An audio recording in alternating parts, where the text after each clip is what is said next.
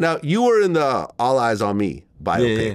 In fact, the first time I saw it, you were having a screening. Yeah, I went New York. crazy. I was in all eyes on. I had, I don't know, uh, forty seconds on camera. Yeah. right. You were one of the robbers at Quad Studio. yeah, and I, sh- I actually was the dude that actually shot. oh, you're the shooter. I was a shooter. I was talking crazy to him. you think this is a rap video? You think this is a fucking rap video, nigga? Told you, nigga. And I shot him. And um I rented out a whole fucking theater. Yeah, I was there. I had to do it. You remember, I had to do it big. I had the Ciroc down there. Yeah. And it- like I I had it like it was like I was in the whole movie. Yeah. You know what I'm saying? Like, Like you were the star. For real, like, Like I you was were a. Tupac. My 40 seconds, like, man, I rented that whole bitch out, like, Yeah. for real. Yeah. I mean, now some time has passed. I know you're in it, but do you feel that that was a good Tupac movie? Damn, somebody asked me that the other day.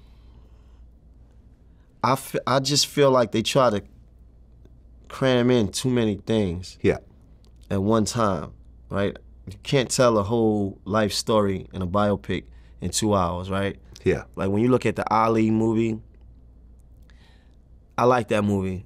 And the reason why I like it is they didn't take every part. They didn't go to when he was born, to when he was growing up, and all this other shit. I think they try to take all that in Pac from when he was born and growing up. They try to catch every point of his life and try to t- instead of taking one one portion of his life.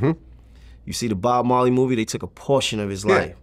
And I think that that's how you got to do those biopics. I think whoever do the the Pac uh, biopic again, start, you know, maybe start with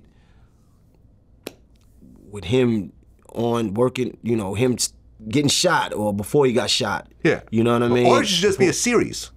Like, maybe like 12, 12 episodes. Then Yeah, you can like, really go yeah, through all that. If you do an ep- see, now, if you do that, that's Yeah. something different, right. right?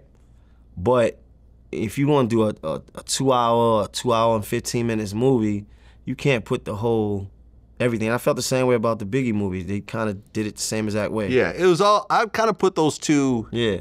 in the same plane. Yeah. Like, I'm glad I saw both of them. Right. Right. But do they go down as classics? No. Are they as good as like you the know, it's the NWA funny movie? Thing. You're No. right.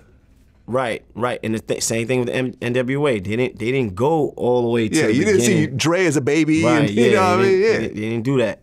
Um, but when it when it's on cable, I, I go, oh shit, all right, uh, I'll put it on.